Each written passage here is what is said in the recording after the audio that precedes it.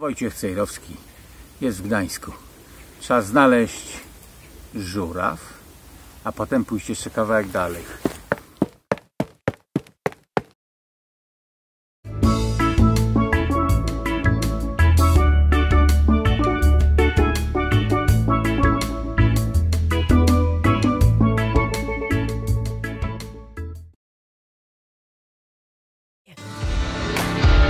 Studio Dziki Zachód.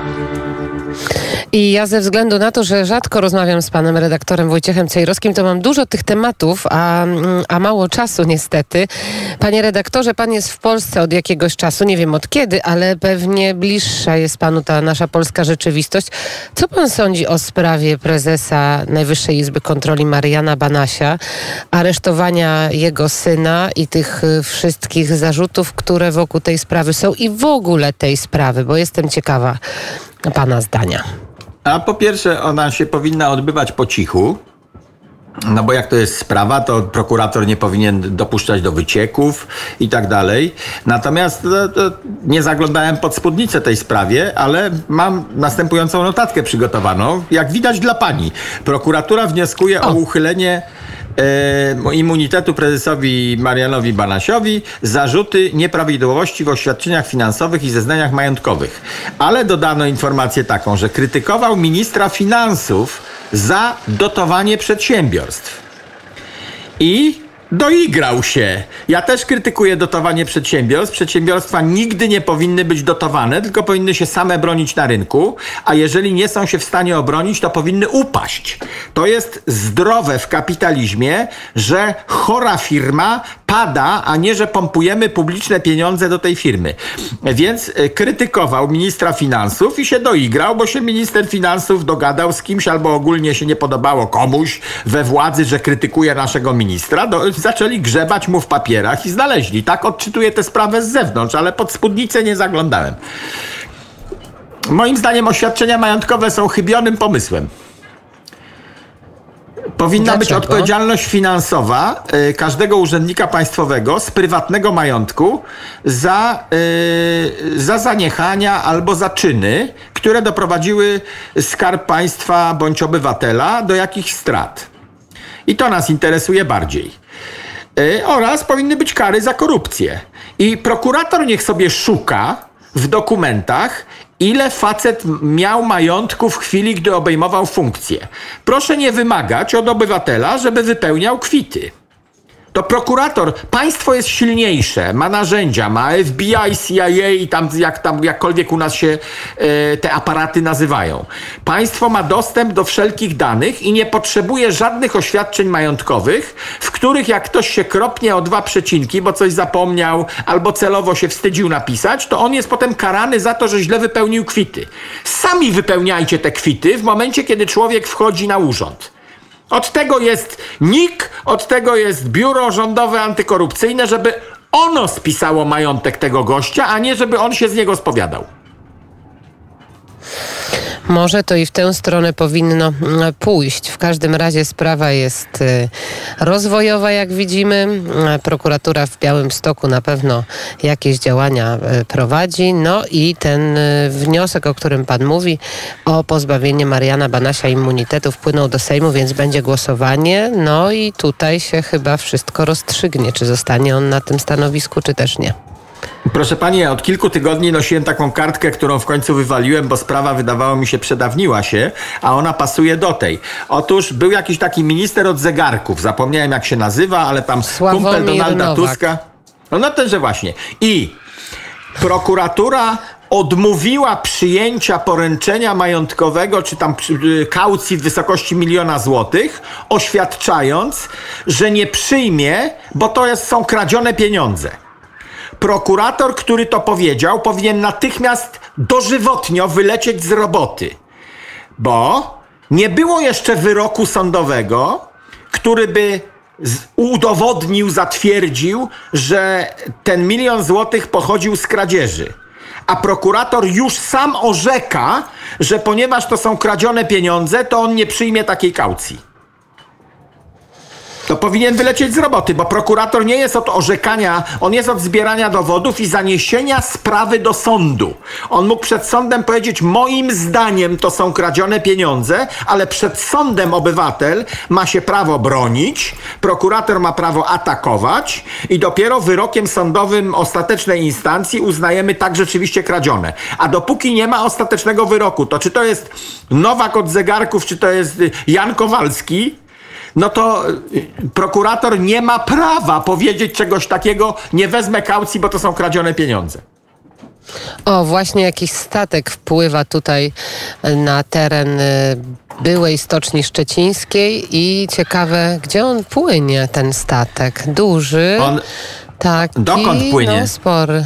No właśnie wpłynął tutaj kilka A no, ma banderkę wywieszoną, pani se przeczyta na banderce, No co to właśnie, jest. nie przeczytam na banderce, bo to było za daleko i ja z tej odległości niestety nie widzę, ale w każdym razie jakiś ruch pierwszy, podkreślam pierwszy, odkąd tutaj jesteśmy, czyli od soboty wieczór zobaczyliśmy w tymże porcie. Ale panie redaktorze, a jak jarmark dominikański wygląda w tym roku? Bo pan przecież zawsze się tam czuje jak ryba w wodzie. Tak, ja się czuję jak ryba w wodzie. W zeszłym roku ten jarmark był taki trochę osowiały ze względu na przeróżne ograniczenia e, i część wystawców nie przyjechała, więc był biedniejszy, a w związku z tym część publiczności nie przyjechała, tych klienteli, no bo jak e, trzech czwartych e, straganów nie ma, to kochanie, po co tam się będziemy pchać, a w dodatku ludzie jeszcze byli przestraszeni tym albo zniechęceni, że na wakacjach mają w masce chodzić od restauracji do restauracji, w której chcą się napić, a po drodze chcą sobie coś kupić.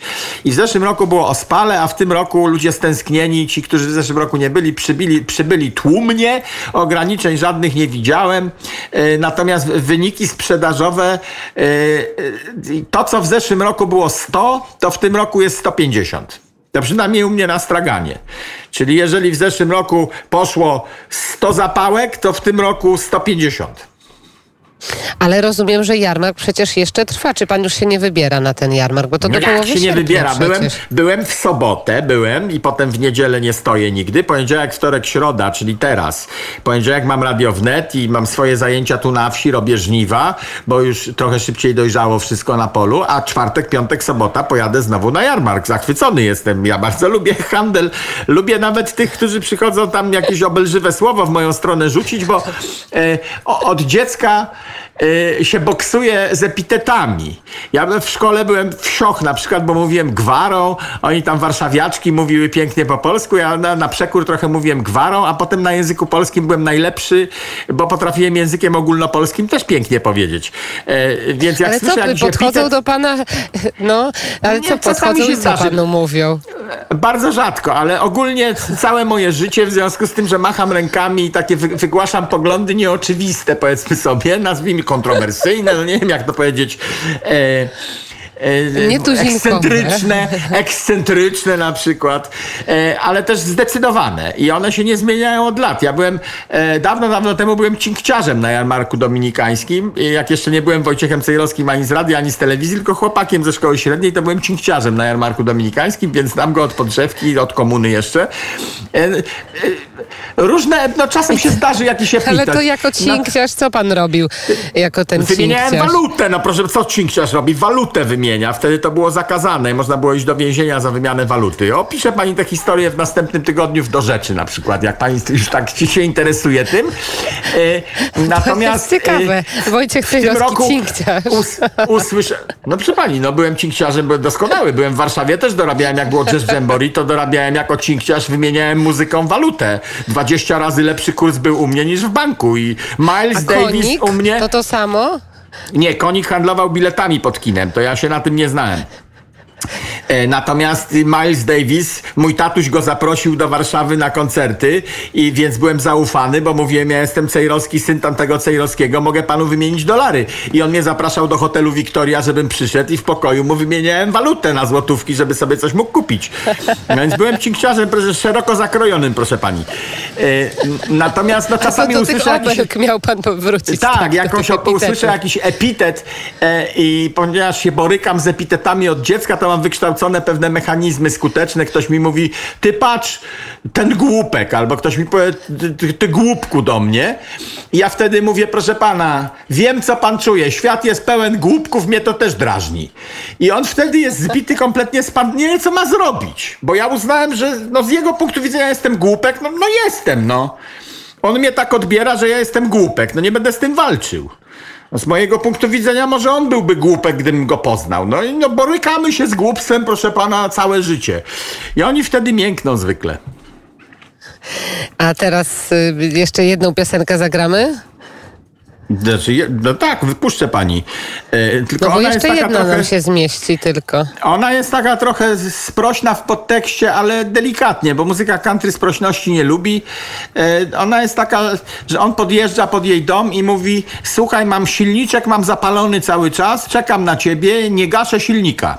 Jestem w pełnej gotowości, pod moją maską cały czas szumi. No, ja nie wiem, czy muzyka country jest pozbawiona podtekstów, bo tam jest albo impreza, Nie powiedziałem, że jest pozbawiona podtekstów, piciu. tylko świństwa nie było. A co jest w piciu złego, proszę pani? Świat jest pełen picia, tak jak jest pełen głupków. No nie ma nic złego w piciu. Pan Jezus robił wino, proszę pani. Pan Jezus był bimbrownikiem w Kanie Galilejskiej. Z, z, z wody zrobił im napitek i wszyscy chwalili, że bardzo dobry, więc w samym piciu, w upijaniu się jest coś złego, natomiast w samym piciu nie ma nic złego. Ja lubię pana tak podpuszczać czasami. Dobrze, Pani to mnie nawet teraz. nadpuszcza, powiem pani. Proszę uprzejmie puścić piosenkę, bo pani się zagotowała.